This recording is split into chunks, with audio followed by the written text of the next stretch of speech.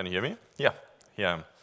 Yeah, hi. Uh, thanks for joining me, uh, especially in these high numbers. I'm honored that you take the time uh, to watch this presentation on uh, Java agents, which is uh, something I work with a, lit, uh, a lot.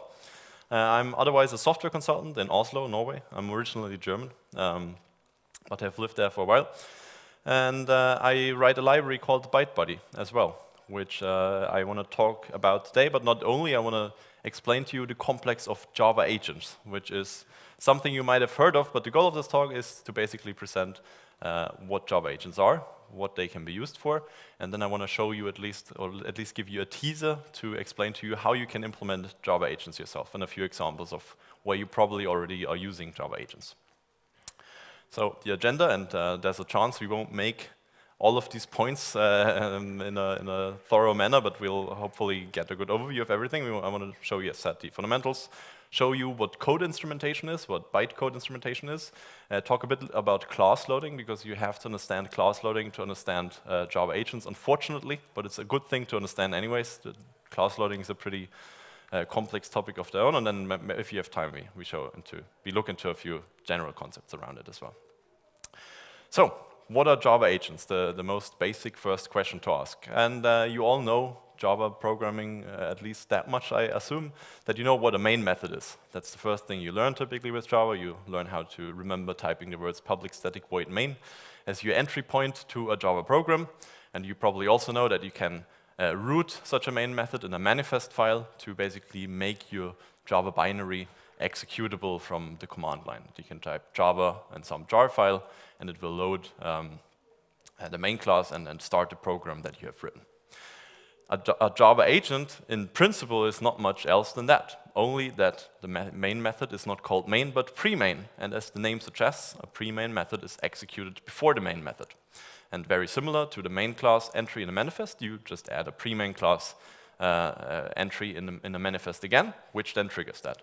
And the interesting part about it is that you can train that. So you can have several agents, and as many as you want to, and they will just execute in the order they are put on the command line um, before your main application.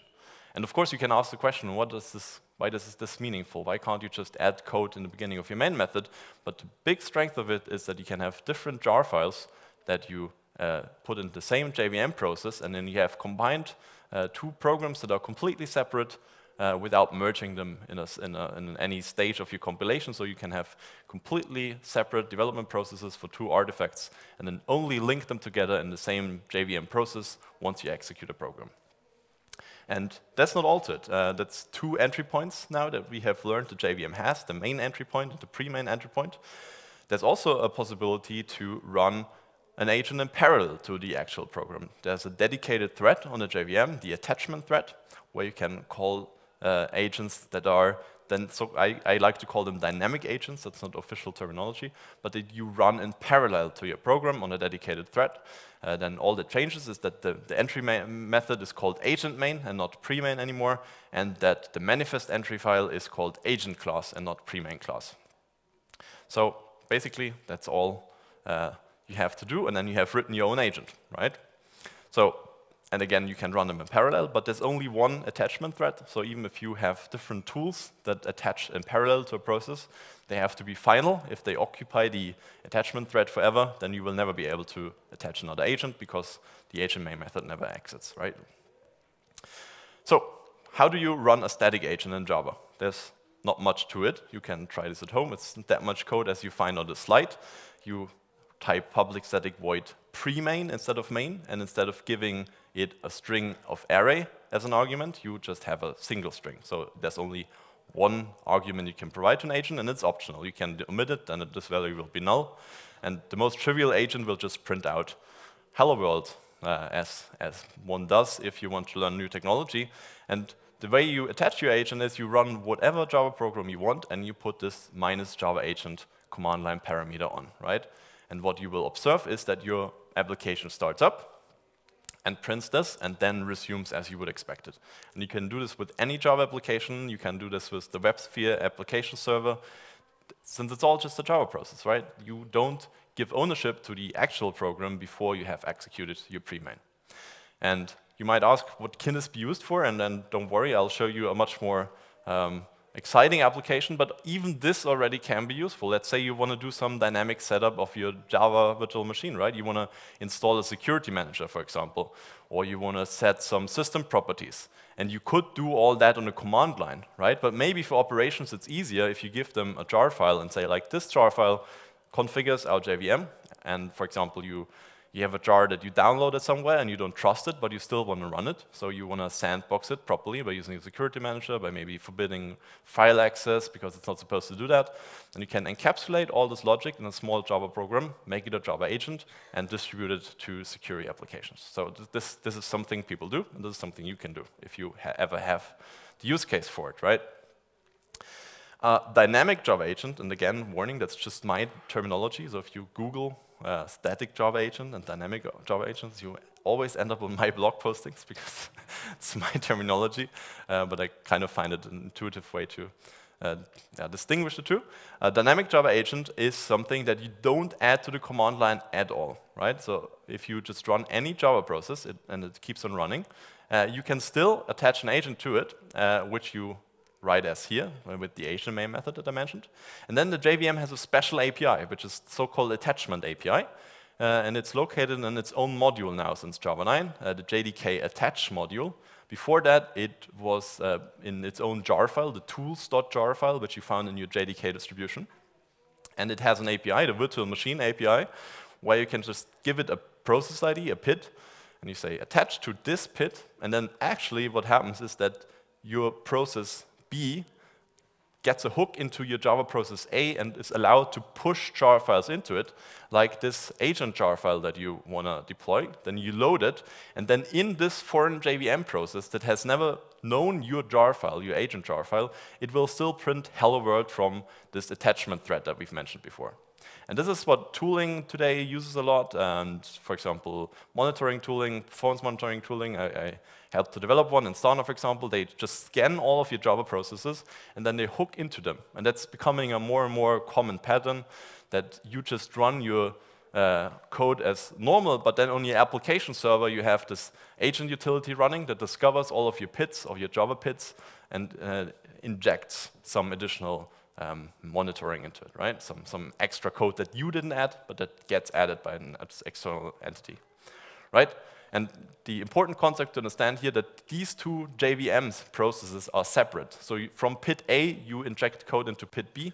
The only requirement that the JVM has to you is that if you're running on POSIX, that it's the same user running both processes, because otherwise Java would inherently be insecure, right? You could just scan for PIDs of other users and change their code. That wouldn't be good.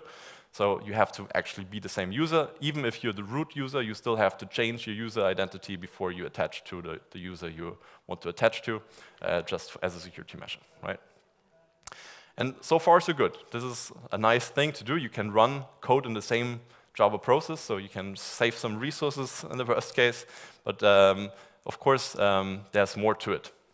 So the pre-main and the agent method, as we have seen, they have one obligatory argument, which is the argument that you provide either on the command line or using the virtual machine API. But as a second argument, you can specify the instrumentation interface, as you see up here, right? So the, the instrumentation inst argument. And what will happen if you do that is that the JVM will inject an instance uh, into it that is giving you access to a very powerful API that allows you to control um, behavior of the JVM. And the most significant and the most widely used uh, API of that is installing a class file transformer. And a class file transformer is basically a lambda expression, um, or I mean, typically it's it's implemented in a more complex manner, but you can implement as a lambda expression that takes five arguments and returns a byte array. So what you will get is if you install a so-called class file transformer using the instrumentation API, inst.add transformer, every time a class is loaded, and any class, any class that is loaded in this JVM will trigger this transformer, provide the class loader that is loading a class, for example, the class path, the system class loader. It will provide the name of the class, so might be a Cassandra driver or an HTTP client. Uh, it will provide a constant to the loaded class. It will provide it uh, the protection domain of the class being loaded, and it will provide, most significantly, the class file. So a byte array of the actual class file that you have compiled or someone has compiled, and it will give you a chance to return another byte array. And what the JVM will do then, it will switch out this byte array that uh, you actually loaded with the byte array you provide. And as you can think, uh, this allows you to change behavior. But normally you don't want to change behavior, you just want to enrich behavior. So what you can do is you can, for example, add a, a metrics counter. Every time method A is executed, you increase the counter, and then you export this information to um, Prometheus, right? And then you can have this legacy app where you lost the source code and you cannot change anything and it's legally not allowed to change it, right? You have all these constraints, but you can still change the behavior by simply writing a Java program that discovers this class name that you know exists and changes the bytecode of the method you want to change. If you don't want to change a method, and that's important, you have to return null, because of course this isn't free. The JVM has to do some bookkeeping of all the changes you have applied. Um, so, so you basically tell the JVM to not instrument a class in this case. And the same works for agent main methods, of course, but it's not the only functionality uh, there, so you, you, can go even further. An agent, method, agent main method might be executed at any time in a JVM's lifecycle, right? It can be attached hours and days and weeks after the JVM has started up, and you might still want to instrument classes that are already loaded in the JVM, and that is perfectly doable. So the add transformer method in the instrumentation interface takes a second argument, a boolean, that tells you if you want to be able to transform classes that were already loaded. So that's the first thing. And then when you register your class file transformer, after that, you tell the JVM via the instrumentation interface to retransform certain classes. So if, for example, if you know Apache HTTP client was already loaded, but I want to count all the HTTP class, uh, calls that are made by the app, then I tell it, find this class, that is already loaded, the HTTP client class, and retransform it, then it will walk through this very same tra transformer that I just transformed, and it can still change its behavior. So even if you have a JVM running for weeks and weeks in production, right, and then suddenly, you know, after a month of, of running, it suddenly has this problem that I can't debug, then you can still go in there in the running process, add the additional logging, the additional metrics you want to extract, and get this information out there. And that actually is very helpful sometimes. If you have customers with weird problems, then, then they tell you, yeah, right, we have to run this app for a year, and then after a year it, it goes sour. And that's not easy to find out, but you can still let the process survive and then basically extract information uh, even if it has been running forever, right? So it's very powerful and you can do a lot with it. But as you expected, you just get very basic input here, a byte array, it doesn't feel approachable for most people, right? Bytecode sounds, and class files sounds like this, this scary, uh, difficult, complex, and it can be. So, yeah. Um, but, but the idea, and that's why I'm working with this library, uh, what I want to show you is that you don't have to know a lot about JVM internals, you don't have to know a lot about class files. Uh, that's very straightforward concepts. They're just very comprehensive. And, and there's libraries like mine that can save you from that by doing all the boring bookkeeping and to let you focus on what you want to do. So, while we can retransform classes, uh, there are limitations to it. And uh, this should be mentioned because otherwise you get the wrong idea of what's possible. And of course, uh, retransformation comes at a cost. The JVM is, is mostly JITted. I mean, there's AOT versions of, of JVMs as well, more and more but uh, typically a JVM program is optimized while it's running. If you change the code of uh, the application you're running, the, the, JIT compiler has to throw out a lot of things, right?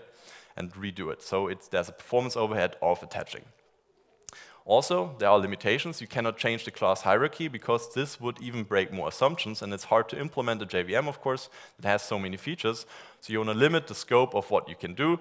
You can, for example, not add virtual methods that are already virtually dispatched because then you had to scan a much bigger graph of, of, of optimized code to throw out.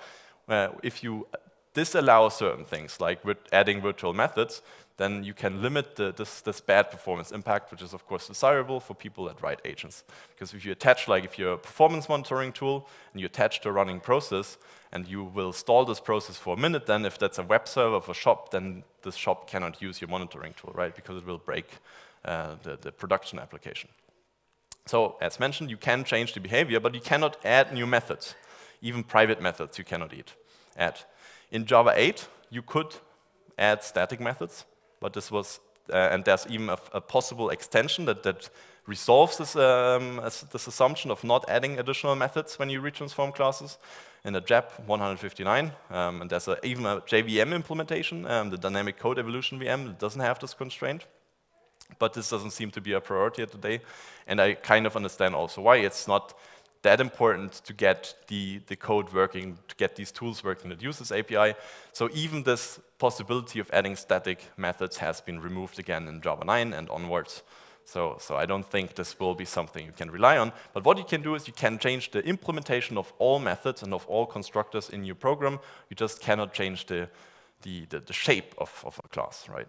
The, the, what you would receive from reflection. What you can do actually is to add annotations uh, if that's useful, and sometimes it is. If you, for example, have an agent and you have Hibernate annotations on your class, but you are not using Hibernate, so you want to translate your Hibernate annotations to JPA annotations, then you can write an agent that takes at runtime all the Hibernate annotations, replaces the, the JPA um, correspondence. And it, it, sounds surrealistic, but this is stuff I actually do sometimes. So uh, there, there's a lot of legacy code, right? And, and if you work as a consultant, you encounter a lot of legacy code. So this is not just abstract skill. This is a very yeah, good thing to can be able to do sometimes, right? Uh, so I'm just trying to show that this is actually uh, something you can use and sometimes is the, the easiest solution. Right, I should mention that there's a, another way of writing Java agents, and that's what you might have heard of before, JVMTI, the Java Virtual Machine Tool Interface. And Java agents basically sit on top of JVMTI. The Java agent, the instrumentation API, is nothing but a delegation to um, the JVMTI API that can do all that Java agents can do and more, um, but you have to write it in C. And if you have written C, I mean, this is just the hello world example of JVMTI. um, here you basically say, I, I, set a flag that I can uh, retransform classes because uh, in C++ you don't have, uh, in C you don't have um, booleans, right? So there's an integer that says turn this feature on, and then you add a, a, hook down here, and then you basically add a callback to some C code that will be triggered. Um, uh, but generally, I don't recommend going down this road because, first of all, there's not a lot of libraries that allow you for code uh, changes, right, that allow for, for manipulating bytecode in a convenient manner. If you write JVMTI, you're basically on your own. Uh, so what most people actually do, they write JVM agent, agents and then they do the retransformation still in Java. So all they do is they call down to ASM or some, some bytecode parser that's written in Java. And of course, you lose the compatibility, right? To, you have to compile for all platforms and you have to you have much more chances of getting it wrong. But some people use that, and if you have very advanced tooling, and then you're probably not learning about Java agents in this talk for the first time, then this is an option, but I want to mention it because sometimes it it's an option to do, right? So, but how can you manipulate code at runtime? What's the basic idea? And this is the last conceptual slide. Afterwards, we dig into what my library does and how you can manipulate code. But conceptually, bytecode manipulation is very easy because you write source code in Java, right? And all you do when you compile it is you turn it into a class file. And a class file is basically, first of all, a list of all constants in, in this class file. Then it's a list of all fields in this class file, and it's a list with all methods in this class file. So if you want to change the behavior of um, the bar method in the class foo, then you will just jump to the, the, the, index of methods in the class file. You will find the offset, and then you will change the bytecode. And bytecode in a class file, it's nothing but a binary, right? If you add a foo.class file in a, in a hex editor, uh, you will just have all these bytes. You have the infamous cafe babe in the beginning to indicate the magic number. It's a Java class file. And then you will have all the constant pool information. And you, if you just read the Java virtual machine specification, it will tell you byte offset that and that points to the method table. And then you jump to the method table, and then it will say, now you jump 15 more bytes to be at the method that is named foo. And then you jump there, and then it says, all right, the code begins at offset this and that. You jump there, and then you find the bytecode instructions that represent returning this value. And if you want to change it, you just find these bytecodes and you replace them with what you want to do instead, right? That's all that is there to it. So you, bytecode manipulation or class file transformation is just taking a byte array, changing the right bytes to represent what you actually wanted to do. And ByteBuddy does nothing but help you with that. So some practical applications. How can this be useful? Um, if you ever used, used Mockito and Kotlin, then you know that Kotlin had the problem in the beginning that you couldn't mock classes because Kotlin does mark every method and every class as final by default, as opposite to Java. And as you know, in Java, and if you use Mockito, you cannot mock final classes. That doesn't work because what we did all the time in Java was that we created a subclass where we overrode all the methods, and that's a mock, right? We overrode all the methods that were virtual to do nothing, or, or the behavior specified in the API, but basically nothing for the most. And uh, there you have your mock, because now by overriding the methods, they don't do anything. It's an empty implementation there, right? With Kotlin, doesn't work anymore. So what did we do when Kotlin came out uh, in Mockito? Or what did I do when Kotlin came out, uh, since I'm the, the bytecode guy on Mockito, um, obviously? Um, basically, what we do first is that we attach to ourselves. We know that there's dynamic attach, there's the tool API, so we find our own PID and then attach to ourselves and trigger a Java agent in the current Java virtual machine. Now we have access to the instrumentation interface, and now you tell us, I want to mock class A, right? What we do then is we take class foo, not class A, class foo, and we want the mock uh, bar, right? So we rewrite the, the method bar to do nothing, conditionally. So basically what it just does is we have a map uh, or a set of all mocks, right? And in the beginning of the method, we just check if this instance is a mock, do nothing. If this instance is not a mock, do what you normally do. And tada, we have mocked classes for Kotlin where everything is final. This is a real-time use case for Java agents run millions of times every day. This is how we do it, right? It's that easy. Uh, another uh, thing I worked with for a long time when I was a consultant for Instana, which is an APM tooling company, and I, I use it as an example so I know it best, right? And it's what I mentioned before. You have a Java process, you have a monitoring tool deployed in production. So you scan for all PIDs, right? And then you put your agent into it. But how do these tools work normally? If you just put your full load of instrumentation into every JVM found, this would be very heavy. So you just deploy a very small agent, you analyze the code, you change a bit of the code, you give feedback to the host monitor, you find out what you actually should do, and given this, this set of classes you find there, and then you deploy a new one, and you just update again, right? So you can incrementally adjust um, the functionality, and more and more tooling is using that. Um, I, I, I, know it because I get the bug reports into uh, ByteBuddy's repo, so every time it's a, it's a fairly, I'd say the JVM TI doesn't seem to be the most loved API by Oracle Engineering. So um, if, you, if you want to find out about what's buggy in new JVM versions, you just run JVM TI. And you typically encounter a few bugs there. But um, it is surprisingly stable, and also this is run by thousands and thousands of JVMs daily and works very well, and this is how all the monitoring tooling works. That's actually even how some of the tooling that's bundled with the JDK works working. They just attached to a foreign process. JVisual VM, how they're doing it, right? They go in there and they do basically some analysis based on this, right? Yeah, so, and you can too, right, as mentioned. And the use case doesn't need to be that comprehensive. There's very good small use cases for agents as well. And I mean, it even works with Docker. If you just scan for Docker containers, you just transfer a file in the container, and then you open port and report out. So you can do very, very good analysis using, using agent tooling. Yes, so much for, what, how much time do I have left, by the way? I don't have a clock, my watch crashed before I started talking. 25 minutes, all right, perfect. So, uh, half time. So, um, what I want to do in the rest, now that I explained to you what agents are and what they can be used for, I want to show you how to write your own agents. And this is basically my, my feature pitch, my open source, free open source library called ByteBuddy. And I want to also show you why it, it has become so popular, I think, um, and why code instrumentation used to be very difficult and is not anymore.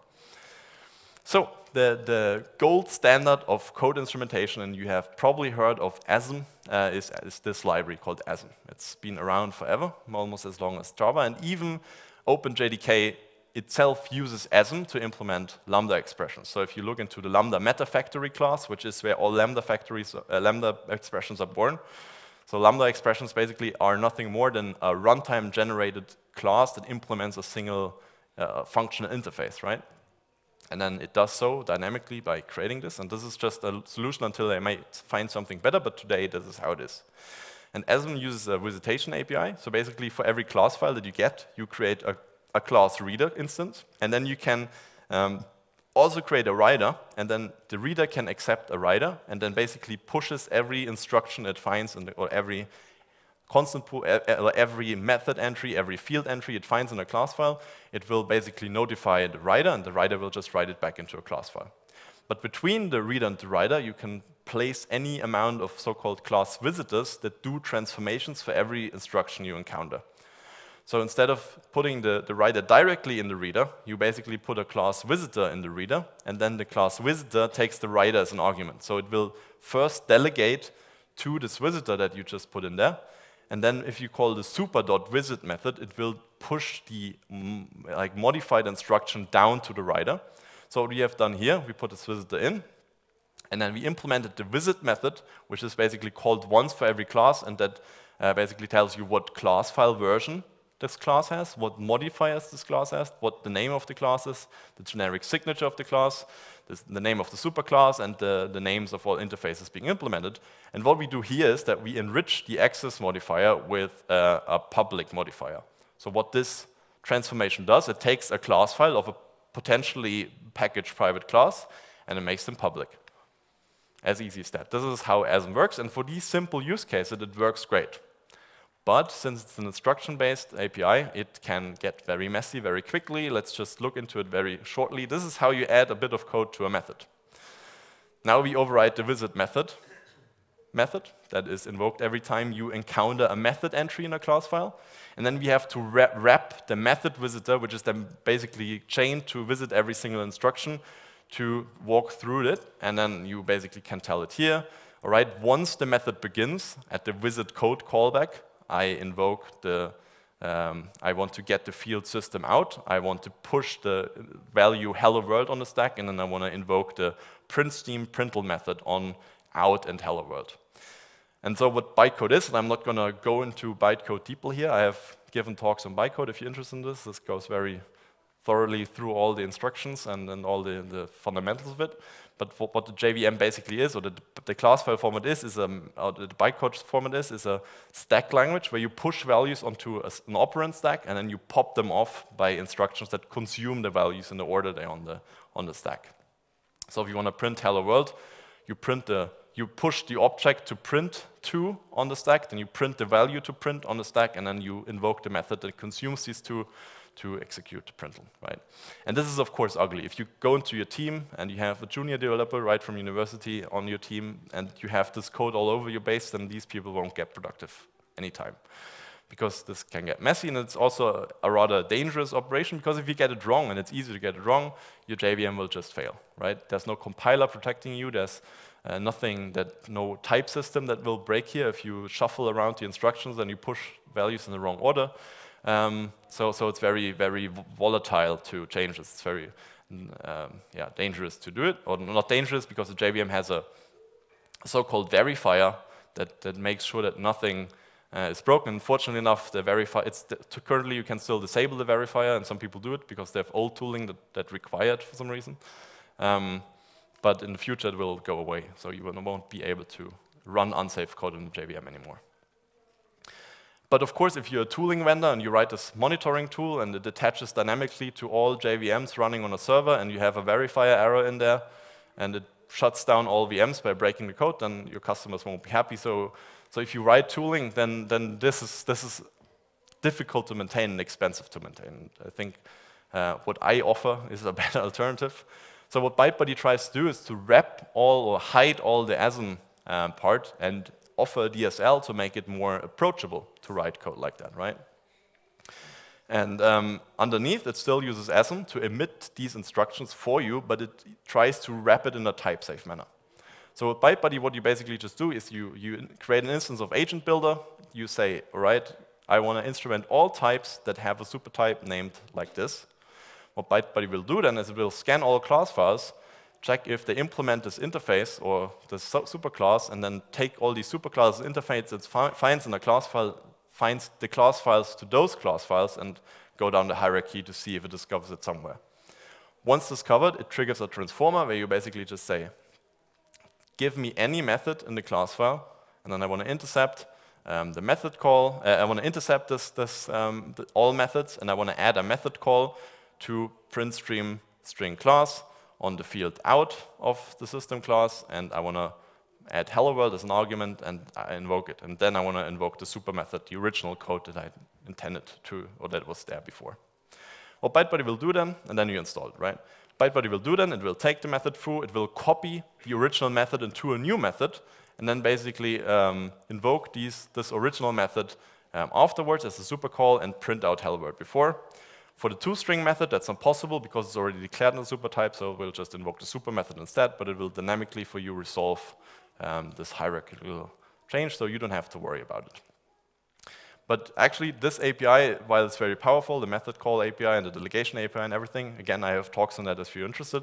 It's not what I want to talk about. I want to show you how to write dynamic agents that do not change the, the class file format, as I told you before, which isn't possible for retransformation. I want to show you what is called advice, and which allows you to inject code without changing the hierarchy um, by just um, adding code at the beginning and the end of the method. And that's an important limitation to understand. With advice, you can add code at the beginning and the end of the method. With everything else, you can do whatever. You can call a super method multiple times. You can uh, omit it altogether.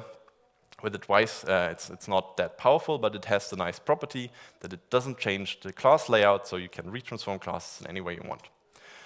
So what is advice? Basically, uh, advice is um, a Java method or Java class with a method annotated with on method enter or a method exit. And these methods will be discovered by ByteBuddy and will not be executed, but they will be used as a template to inline code into another class. So if you say, I want to instrument all types of the supertype my target user type, uh, then I can take them and find them, right? And then I copy the code in the advice method, and that's important. I copy it over to the original method. And that's basically what you need to understand.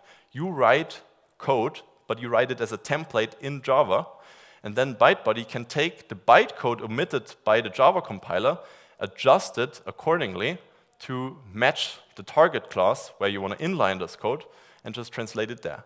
And since javac hopefully never omit, emits illegal bytecode, always emits legal bytecode, the transfer step is very small compared to writing everything in ASM. And uh, you can write whatever complex uh, method you want to, and ByteBuddy reliably translates it over. And basically, this, take my word for it, you copy this, this main method you see there, you can copy it, package in a class file, and print out hello world wherever you want. I let it up to you to write something actually useful, but it's all you need to understand. You don't have to think about bytecode, and this is the idea of ByteBuddy. It it should take care of all the boring work, of all the bookkeeping, and so forth and you just uh, write the, the business logic you want to implement, and then it inlines the code for you. But it inlines it, so if you put like if you run it in debugger mode and you put a breakpoint into the onEnter method, this breakpoint will never be triggered. So don't forget it, it's a, it's a template. It's not a method being executed. And now you can just tell ByteBuddy to disable class format changes, which is a hint to do some optimizations that you will never need to change the method hierarchy. So ByteBuddy can save itself some overhead. And then you enable retransform. And now you have a Java, you have now written a Java agent that adds hello world to this class no matter when you attach the agent, right? So you're all good, basically. And how does this work? Yeah, as I said, it just copies it. It's a bit more complex if you add, exit advice. What ByteBuddy will do then, it will just enter the, the entry advice, but the exit advice, um, it will basically copy the return value once it's reached into a local variable, then trigger the exit device, and then return the value. You can do this in ASM, but uh, just one more example before we go further, um, how complex this can be in practice. If you have multiple return values, what ByteBuddy needs to do is to basically assign a local variable before, always assign um, the return value when you find one to this local variable, and then issue a goto statement to the end of the method where it finds the, the exit advice, and um, then return the value after that, right? In ASM, as said, it's fully possible to do this, and ByteBuddy does it using ASM, but you don't have to worry about all this logic. You just implement this code, and now you have this nice property that if you're a performance tooling vendor with 200 employees, you can still hire people from university, junior developers that can focus on implementing the, the, the, business logic you're interested in without worrying about having verify errors in production in the end. Right? So please try it out. Uh, can find it on GitHub and on Maven Central, obviously. And uh, yeah, exactly. You can, of course, access, uh, access arguments as well. You have injection API for that. All arguments on an advice methods are merely virtual. Again, it's a template, it's not an actual thing. You can tell it, right, every time I access the argument val, in the actual method, I also want to access the, the argument in index zero, right? Now, by chance, these two arguments have the same index, but it's necessary. You can put whatever annotation you want there, and it will represent the value. And ByteBuddy will, when it discovers in the template that you access one annotated parameter, it will dynamically rewrite it to the actual bytecode instruction that represents what you told ByteBuddy you want to do by the annotation. And there's a bunch of, of these um, annotations. Um, and again, there's a talk with the exact same name, and they always have the same name, because I'm not creative enough to phrase them correctly. But if you find on YouTube the one I gave in, in, at JPoint in Russia last August, I go through all these in detail. Because in Russia, they always want hardcore talks. And I gave them one. I said it was too, too much, but uh, I go through all the gory details of how these translations happen. And if you're deep into it, at some point, I think it's really interesting to understand it, because you, of course, should always understand the stack you're using anyways. All right, so for example, if you annotate an, an, an, a parameter to your advice method, like this one here with advice dot field value instead of, of argument, like the third one here, then it will take a string as its argument, and then you will access this field whenever you read the variable of the parameter, right? You don't, as said, this is just a template. It doesn't, doesn't exist as code. It's just a representation of the value you want to access, and ByteBuddy will then replace this argument bytecode, argument loading bytecode with the field loading bytecode, right? And, and do it accordingly, and so forth. You can even, in ex exit advice, you can capture the return value, and uh, the, the a potential exception that was thrown. You can also trigger exit advice in a try catch block. Um, and then, for example, you can check the, the exception and suppress it. Again, this is something I actually did. Big legacy application threw exceptions randomly in some adapter that wasn't even used. We couldn't change the code base because it was a third-party product we didn't own, didn't have the, the legal authority to change the source. So we just found the stack. We just checked the names in the stack. We thought, OK, this tries to connect to some old uh, license server that doesn't exist anymore because the company is not operational anymore. We don't care about this, but it breaks our code, so we just instrument this method, catch the exception, suppress it. Very good. Still running in production. Right. And all kinds of things. You can actually retry methods, so you can jump back to the beginning of the method from exit advice to say, like, let's try this once more. You can jump over the actual method from enter advice, say like, I don't even want to execute the real code, go to the exit advice right away. So all kinds of things you can do, and ByteBuddy does it transparently. How much time I have left now? 10 minutes, all right. So thank you, watch, for crashing. a problem with digital watches, right? Right. So um, yeah, limitations of a device template, I've said it a bunch of times now. You cannot have fields in there because they're just templates. These fields don't really exist or they're not visible necessarily. And you cannot add helper methods. Because if you invoked like a private method from your advice template, then this code, this static, private static call would be inlined into your target. But since the target is another class than your advice template, the private method is invisible. And you again will get a verify error. Or in case of using ByteBuddy, fortunately it's discovered and you'll get a runtime exception that just aborts the transformation. But if you design your advice and you have this, this neat little uh, utility method that does a lot of work, then unfortunately you have to unfold this code into your actual advice. So the advice needs to be self-contained and it cannot reference uh, small helper methods, which of course requires some discipline and coding. Um, but, but all in all, uh, you shouldn't add too much code anyways. Uh, JVM, the JIT compiler especially, is very heuristical. If you, if you create a lot of code in important methods, like a HTTP client, then you will certainly disturb the JIT compiler to make it less efficient to be compiled, and uh, you will cause performance problems potentially for your customers, right? So shorter methods typically are better, because the, the bigger the bytecode count is, the less uh, likely it is to be inlined, and the less likely it is to be on, on a good um, yeah, compiled state. Right. So instead, and you can do that, you can implement your own bindings of parameter values. Instead of having like your, your value that you want to put in there, you can just have a custom binding, and then instead ByteBuddy will add bytecode instruction to load the value you want to represent there. But everything you read from in a method needs to be in the arguments of the method, uh, and not uh, a static field or something, right? All right, yeah, and yeah. Uh, just to mention this as well, uh, you can do in-method code substitution as well in ByteBuddy. So if you, for example, and, and, again, this is something I really discovered, you have a library you use and they have println statements there, here and there, and they will disturb your logging and they, they do all kinds of weird things. Then ByteBuddy in advice, uh, or outside of advice, allows you to do member substitution. You say in the method um, foo, I want to remove all methods println, just stop them out. And what ByteBuddy will do, it will go through your code, find all these invocations, and remove them. Alternatively, you can replace them with another method, for example, with the actual logging API that you want to invoke. So you can tell it, instead of calling system out println, replace all these println statements with uh, a statement to invoke a specific logger I want to trigger, right? So all, all this also works. All right, now it's probably five more minutes. so, hmm, pardon? It's still 10, all right. Awesome. So infinitive time, then we can go deep now. All right, because I want to I wanna talk about class loading a little bit at least, uh, because it is important to understand. I think not only when you work with agents, I think class loading is one of the most complex uh, topics in the JVM that, that people struggle with. And when you develop agents, it's extra painful. And uh, the reason for that is, is this here. You normally expect this hierarchy.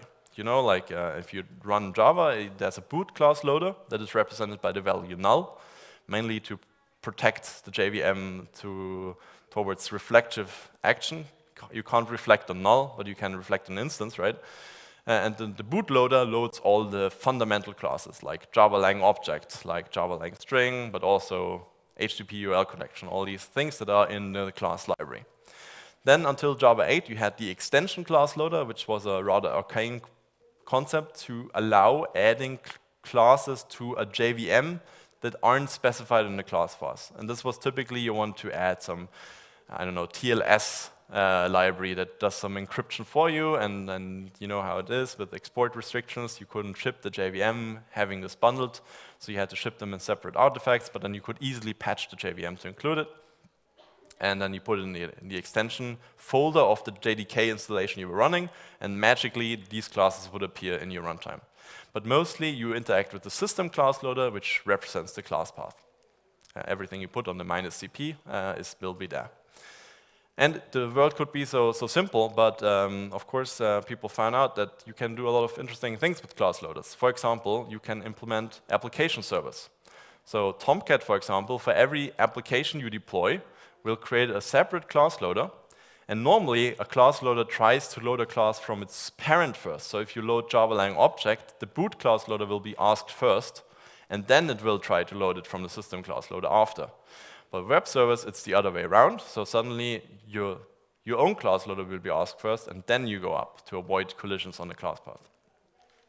So the, the, the, beauty of it, if, in Tom, if you do it right in Tomcat, you will have three apps deployed, and if you want to remove one, you just tell Tomcat to, to basically make this class loader garbage collectible, and it will disappear, and the other two apps can run the same JVM process. You also have OSGI. OSGI has the same idea in BASIC. It, it, has modules and only allows you to see other class loaders that you imported. So if you try to load a class from OSGI class loader, you will ask the OSGI parent for it, and the parent will see what packages you import and what packages other class loaders export, and then will delegate back up the hierarchy and uh, allow you to load classes from, from parents that, uh, from class loaders you're not even hierarchical relation with. And if you write an agent and you want to instrument a class, the class you want to instrument can be on either of these class loaders. Your Java agent, however, will always, yeah, and you can of course have any class loader, your Java agent, of course, will be loaded on the system class loader. So it's if you want to instrument a class that's loaded by Tomcat, it doesn't necessarily mean that your agent is visible to the Tomcat application. So if you want to, or that your agent can see the classes there. So you will be able to discover them, or ByteBuddy will be able to discover them, but they cannot communicate. You cannot load classes from there, for example. And what you should do for that, because if your advice, for example, references the HTTP request servlet class or your custom tracing class that's somewhere, it's not necessary that these classes are loaded. So if you run advice, as I showed you before here, then you will get a no class def found error. Because despite the fact that you discovered a servlet class, since the servlet class isn't on the system class loader, but somewhere down the Tomcat hierarchy, it cannot be found, and this will not be possible. To overcome this, ByteBuddy has its own API again, where you do not reference a twice by its loaded name, but by a string representing it. What ByteBuddy will do then, it will discover all the class loaders involved in an instrumentation, create a proxy to resolve classes from multiple class loaders by the name, and then it basically projects the reflection API onto an API that is exactly identical to the reflection API, and all your instrumentation will go against that, making it work.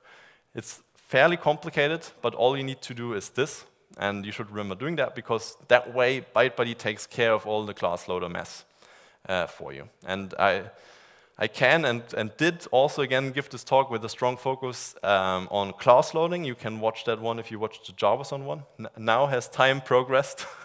Five minutes, perfect. So we are still moving forward. Um, but instead of talking even more about class loaders, I'll jump over all this See? and uh, show you how to make agents updatable, which also is related to class loaders. So a class loader can be garbage collected only if all of its classes can be garbage collected. So uh, the, point, the thing is, a, a Java class references its class loader, and a class loader references all of its classes. The system class loader is anchored in the JVM. The system class loader can never be garbage collected. So if you load a Java agent, which will always be loaded on the system class loader, this Java agent is forever. It will never be unloaded. So how can you work uh, around this and make agents updatable if you cannot unload classes? Because if you do enough incremental updates to an agent, you will trash the class loader, you will fill up the code cache and, and the meta space for, forever, and you will eventually run out of, of, of memory, hopefully. If you have not set constraints, the machine will run out of memory. That's even worse. Um, but it's, it's very simple, and again, uh, I coined the term trampoline agent, where you do not do anything in the agent. The agent is just, just that. You uh, provide a URL location as an argument instead of providing the actual agent.